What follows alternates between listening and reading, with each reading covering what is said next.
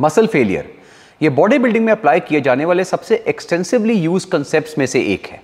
और इस कंसेप्ट को हम वर्कआउट करते हुए इंटेंशनली अप्लाई करते हैं। यानी ये डेलिबरेटली एक इंडिविजुअल के द्वारा करा जाता है। दो मसल फेलियर के कंसेप्ट को इंडिविजुअल्स जब से एक्सरसाइज ह्यूमन हिस्ट्री में स्टार्ट हुई है, तब से यूज़ कर रहे हैं। और मैं आपको अभी बताऊँगा किस तरह से। और ऑफ़ कोर्स बॉडी बिल्डिंग के थ्रू इस पर्टिकुलर कंसेप्ट को एक नाम दिया गया, मसल फेलियर। और बॉडी बिल्डिंग में भी जब से बॉडी बिल्डिंग स्टार्ट हुई है, इसको सारे एथलीट्स कभी ना कभी यूज़ करते ही करते हैं। लेकिन फिर भी एक डिबेट जो है, वो काफ़ी ज़्यादा प्रेवलेंट है कोचेस के बीच में और काफ़ी सारे इंडिविजुअल्स के बीच में कि भाई मसल फेलियर में जाना चाहिए या नहीं जाना चाहिए। अब अगर हम बॉडी बिल्डिंग जैसे स्पोर्ट की बात करें तो मसल फेलियर एक बहुत ही इंपॉर्टेंट और इंटीग्रल कंसेप्ट है। और मैक्सिमम कोचेज आपको एडवाइस करते हैं कि आपको मोमेंटरी मसल फेलियर अचीव करना चाहिए एटलीस्ट लास्ट के एक सेट में। इनफैक्ट काफ़ी सारे कोचेज जो हैं, वो उसी सेट को एक्चुअल वर्किंग सेट मानते हैं जिसमें आपने मसल फेलियर अटेन करा होता है। बाकी सेट्स को तो वो एक बिल्डअप सेट की तरह कंसिडर करते हैं वार्म अप सेट की तरह कंसिडर करते हैं। हाउएवर एक चीज़ आपको समझनी बहुत ज़रूरी है कि ये कंसेप्ट बॉडी बिल्डिंग या कुछ और स्पोर्ट्स में ही यूज़ होता है। मैक्सिमम स्पोर्ट्स में मसल फेलियर को जनरली यूज़ नहीं करा जाता और ना उसका कोई स्पेशल यूज़ है उसका कोई फ़ायदा भी नहीं है। अगर हम बॉडी बिल्डिंग की बात करते हैं तो मसल फेलियर काफ़ी कॉमनली देखा जाता है।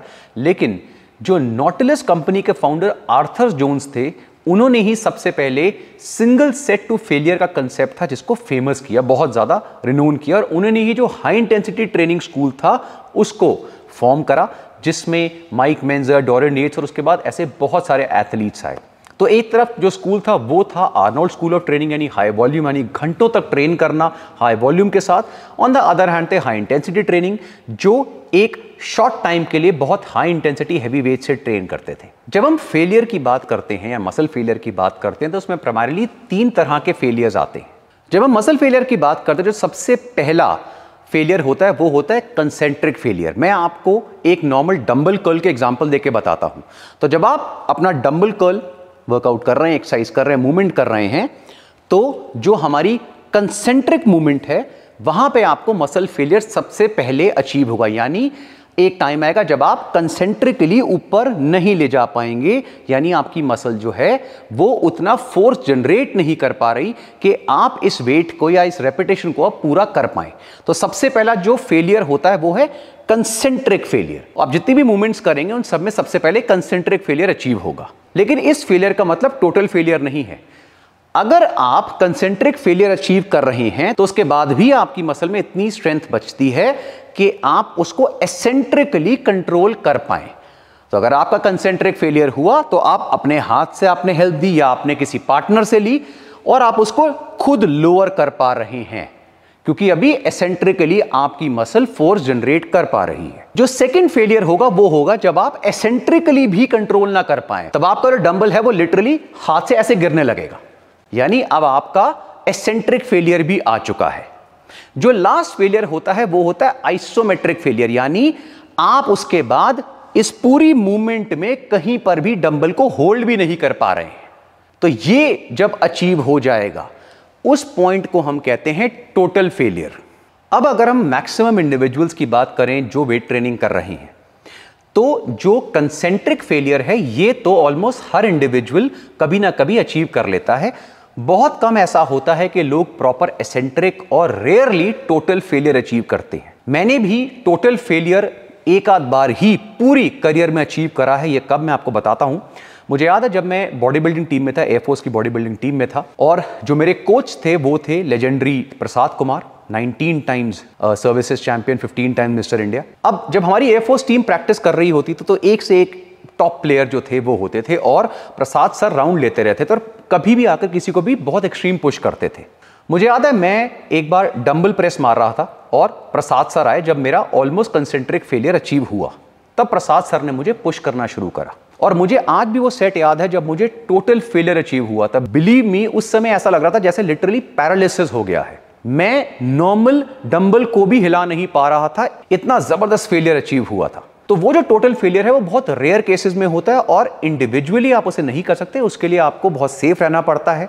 आपको एक लेवल ऑफ़ एक्सपर्टीज या एडवांस ट्रेनिंग चाहिए, उस लेवल पर जाकर फिर प्रॉपर गाइडेंस के अंदर ही आप इतना पुश कर पाएँगे और ये भी हर बार नहीं करना होता। ऑल्सो ये तो एक तरह का फेलियर है। फेलियर को कई लोग टेक्निकल फेलियर कहते हैं, यानी अगर आप किसी मूवमेंट में टेक्निक को प्रॉपरली मेंटेन नहीं कर पा रहे तो वो भी एक तरह का फेलियर है। और वो जो बाकी स्पोर्ट्स होते हैं, वहाँ पर ज़्यादा मैटर करता है। फॉर एग्ज़ाम्पल अगर आप वेट लिफ्टिंग कर रहे हैं, आप क्लीन एंड जॉक या स्नैच मार रहे हैं तो वहाँ पर आपको मसल फेलियर से ज़्यादा टेक्निकल फेलियर पे ध्यान देना होता है। क्योंकि अगर आप वेट लिफ्टिंग मूवमेंट्स में मसल फेलियर पे जाने की कोशिश करेंगे तो इंजरी के चांसेस बहुत हाई हो जाते हैं। इसलिए मसल फेलियर जनरली इन स्पोर्ट्स में मैटर नहीं करता, वहाँ टेक्निकल फेलियर आता है। इसके अलावा और भी फेलियर्स होते हैं, जैसे आपके जो प्राइम मूवर्स हैं या जो आपके स्टेबलाइजर मसल्स हैं, वो फेल हो गई। एक प्राइमरी एग्जांपल लेते हैं। लेट्स से आप बैक एक्सरसाइज कर रहे हैं। तो आप देखेंगे, बहुत बार ऐसा होता है कि आपकी बैक तो फटीक होती है, लेकिन उससे पहले आपकी बाइसेप्स जो हैं,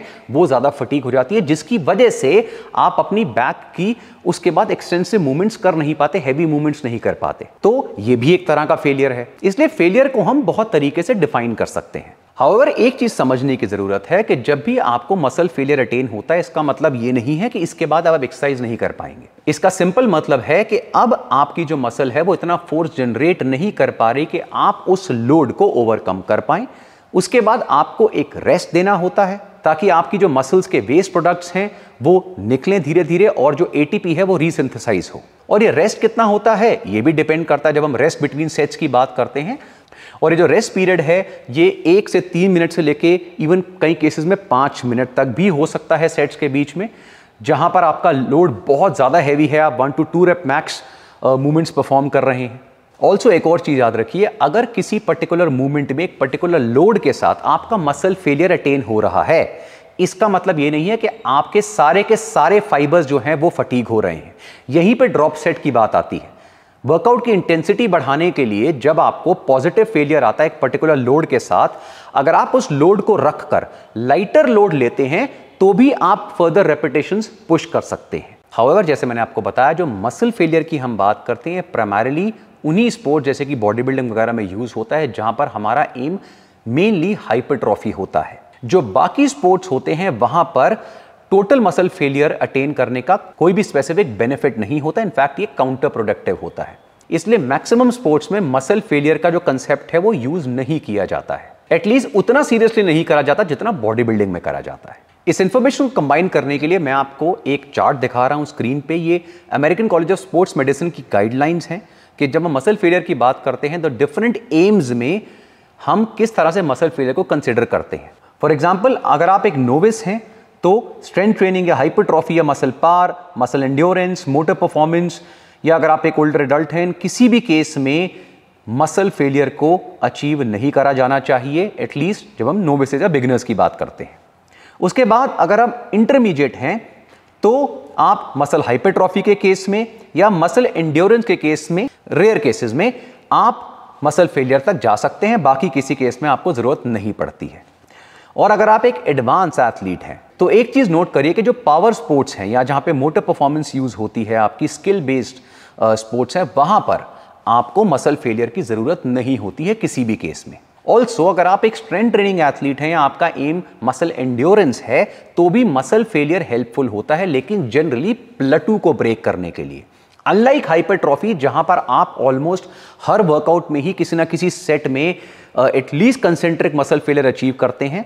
बाकी स्पोर्ट्स में जनरली बहुत रेयर केसेस में मसल फेलियर अचीव करा जाता है अपने को पुश करने के लिए। अगर हम वर्ल्ड के टॉप कोचेस की रिकमेंडेशन लेते हैं तो कुछ कोचेस ने बहुत अच्छी रिकमेंडेशन दी है कि मसल फेलियर कहाँ पे आपको करना है, कहाँ नहीं करना है, इसको हम उस पर्टिकुलर मूवमेंट की जो न्यूरोलॉजिकल डिमांड्स हैं, उनके बेसिस पे जज कर सकते हैं। फॉर एग्ज़ाम्पल कुछ मूवमेंट्स ऐसी होती है जहाँ पे आपकी जो न्यूरोलॉजिकल डिमांड्स हैं वो बहुत हाई होती हैं। जैसे ओलंपिक लिफ्ट्स हुई या जिम्नास्टिक्स वगैरह की जो मूवमेंट्स होती हैं। For example snatch clean and jerk power clean hand stand front lever back lever इसके अलावा heavy squats dead lifts even bent over rows in fact even lunges और स्प्लिट स्कॉट्स वगैरह में यहाँ पर हम फेलियर तक नहीं जाते हम अपने को पुश करते हैं, लेकिन हम फेलियर तक नहीं जाते हैं, क्योंकि इन केसेस में अगर आप फेलियर यानी मसल फेलियर अचीव करने की कोशिश करेंगे तो इंजरी के चांसेस बहुत हाई होते हैं। क्योंकि ये न्यूरली बहुत कॉम्प्लेक्स मूवमेंट्स होती हैं और इनमें आपको तब रुक जाना चाहिए जब आपकी टेक्निक फेल होने लगे। ये एक बहुत इंपॉर्टेंट पॉइंट है। फॉर एग्ज़ाम्पल लेट से आप लंजेस कर रहे हैं। अब लंजेस में आप तब तक नहीं चलते रहेंगे जब तक आप गिर नहीं जाते। आपके नी एंकल में इंजरी हो सकती है बहुत ज़्यादा। इसलिए जब आपको लगे आपकी टेक्निक ब्रेक डाउन हो रही है, अब आप लंज को प्रॉपर परफॉर्म नहीं कर पा रहे, तब आप वहाँ पर ब्रेक देंगे। लेकिन इसका मतलब यह नहीं है कि आपकी हाइपरट्रॉफी नहीं होगी, ऐसा नहीं होता। इसके अलावा कुछ ऐसी मूवमेंट्स है जहाँ पर आप फेलियर पे जा सकते हैं, लेकिन हमेशा नहीं। या फिर इन मूवमेंट में जो लास्ट सेट है, उसमें आप अपने को फेलियर पे पुश कर सकते हैं। जैसे हम मैक्सिमम जो हमारी हाइपरट्रॉफी बेस या जिम में हम मूवमेंट्स करते हैं बॉडी पार्ट्स की, वो आती हैं। फॉर एग्ज़ाम्पल आपकी मैक्सिमम चेस्ट की मूवमेंट शोल्डर की मूवमेंट्स बैक की जो मूवमेंट्स होती हैं, जो पुल मूवमेंट्स वगैरह होती हैं, जो प्रेसेस वगैरह होते हैं आर्म्स की जो मूवमेंट्स हैं, इन सारी मूवमेंट्स को आप मसल फेलियर तक ले जा सकते हैं। लेकिन जैसे मैंने बताया जनरली लास्ट सेट में मसल फेलियर काफ़ी होता है। लेकिन जो मसल फेलियर है ना एक्चुअली में कैश 22 सिचुएशन है।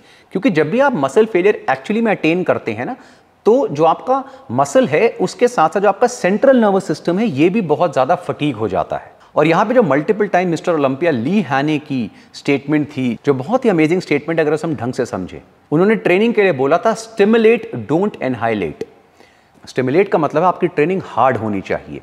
आपको अपने को पुश करना है, हर वर्कआउट में प्रोग्रेसिवली ओवरलोड करना है।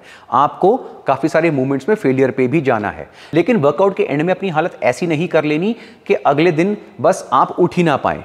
एनहाइलेट नहीं करना, अपने अंदर इतनी कैपेसिटी रखनी है कि आप रिकवरी कर सकें और नेक्स्ट डे जो दूसरा वर्कआउट है, उसे परफॉर्म कर सकें प्रॉपर इंटेंसिटी के साथ। ऑल्सो याद रखिए कि जो, जब हम बॉडी बिल्डिंग की बात करते हैं तो मैक्सिमम केसेस में जहाँ पर आप इंडिविजुअल देखते हैं, जो छः छः दिन वर्कआउट कर रहे हैं एक्सट्रीम वर्कआउट्स कर रहे हैं, वो सारे ड्रग बॉडी बिल्डर्स होते हैं, वो सारे एनाबॉलिक्स पे होते हैं स्टेरॉइड्स पे होते हैं। जब आप एनाबॉलिक्स पे होते हैं तो आपकी जो रिकवरी है, वो बहुत ज़्यादा इन्हेंस हो जाती है और आप अपने आप को बहुत एक्सट्रीम पुश कर सकते हैं। लेकिन यहाँ पे हम जितनी भी डिस्कशंस कर रहे हैं, ये सारी की सारी नेचुरल लिफ्टर्स की कर रहे हैं। मैं पर्सनली आपको ये इसलिए बता सकता हूँ, क्योंकि जब मैं ट्रैक एंड फ़ील्ड में था और मिलिट्री ट्रेनिंग में था तो 100% ड्रग फ्री था। तब भी मैंने अपने को एक डिफरेंट तरीके से एक्सट्रीम पुश करा है। उसके बाद जब मैं बॉडी बिल्डिंग में आया तो वहाँ पे और भी एक्सट्रीम पुश करा, लेकिन उस समय मैं एनाबॉलिक्स भी यूज़ करे। और अब जब मैं छोड़ चुका हूँ तो अभी भी मैं फेलियर पे जाता हूँ, काफ़ी सारी मूवमेंट्स में, लेकिन उतना नहीं जितना मैं स्टेरॉइड्स लेते समय जाता था। इसलिए प्रैक्टिकली चीज़ों को समझना बहुत ज़रूरी हो जाता है। अगर आप इस रिलेटेड ई बुक पढ़ेंगे तो उसमें मैंने मल्टीपल स्टडीज़ भी आपको दी है, जिसमें यह बताया गया है कि फेलियर का किन जगहों पे क्या क्या बेनिफिट इंडिविजुअल्स को हुआ है? इस वीडियो को एंड करने से पहले मैं आपको एक चीज़ बता दूँ। आजकल बहुत सारे यंगस्टर्स जो है ना, वो सोशल मीडिया पे दी गई इंफॉर्मेशन से बहुत कंफ्यूज हो जाते हैं और अनफॉर्चुनेटली बहुत सारे सो कॉल्ड फिटनेस कोचेस जो आपको सोशल मीडिया पे सडनली नए नए दिखेंगे, ये वो लोग हैं जिन्होंने जिम में जाकर अभी 10-15 पुशअप मारने शुरू करे हैं। अब जब ये एडवाइस देते हैं तो ये ऐसी एडवाइस देते हैं, अरे मसल फेलियर पे नहीं जाना चाहिए अकॉर्डिंग टू दिस स्टडी मैं आपको सारी स्टडीज़ भी दे रहा हूँ और 25 साल का एक्सपीरियंस भी दे रहा हूँ। ये पूरी ई बुक है, इसमें सारी स्टडीज़ हैं। वर्ल्ड के बेस्ट कोचेस की रिकमेंडेशंस भी हैं। 2023 टू 2024 तक जो स्टडीज़ हुई हैं, वो भी सारी हैं। और उसके अलावा प्रैक्टिकल एक्सपीरियंस भी बता रहा हूँ कि जब हम मसल फेलियर की बात करते हैं तो एक बेसिक कॉमन सेंस जो है, वो मैं आपको समझाता हूँ जिम में लड़कों या लड़कियों का क्या होता है। मसल फेलियर उन लोगों को समझाना ज़रूरी क्यों होता है, ताकि वो अपने थ्रेशोल्ड को पुश कर पाएँ। एक क्लासिक एग्ज़ाम्पल देता हूँ।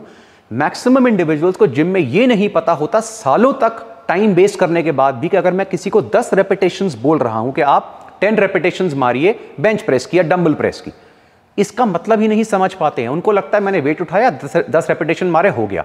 This is not ten repetition इसीलिए प्रोग्रेशन नहीं होती है, इसलिए सालों तक रिज़ल्ट नहीं आते।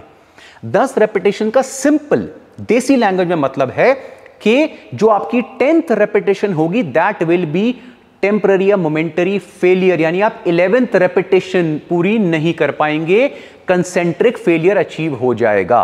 सिंपल अगर आप इस तरीके से जिम में वर्कआउट करेंगे तो आप प्रोग्रेशन देख पाएँगे और अपनी लिमिट्स को पुश कर पाएँगे। इसलिए जब हम बोलते हैं कि एक्सरसाइज फिजियोलॉजी का जो बेसिक प्रिंसिपल है प्रिंसिपल ऑफ़ प्रोग्रेसिव ओवरलोड वो इन चीज़ों को समझने के बाद आता है। इसलिए सिर्फ़ एक लाइन अगर कोई बोल दे, अरे मसल फेलियर नहीं होना चाहिए, उससे कोई नहीं होता। नो मसल फेलियर का अपना एक यूज़ है और उसका यूज़ प्रैक्टिकली और साइंटिफिकली दोनों है। कहाँ है, कहाँ नहीं है, मैंने आपको वीडियो में बता दिया है। और ऐसे बहुत सारे वीडियोस के लिए देखते रहिए वी स्टूपिड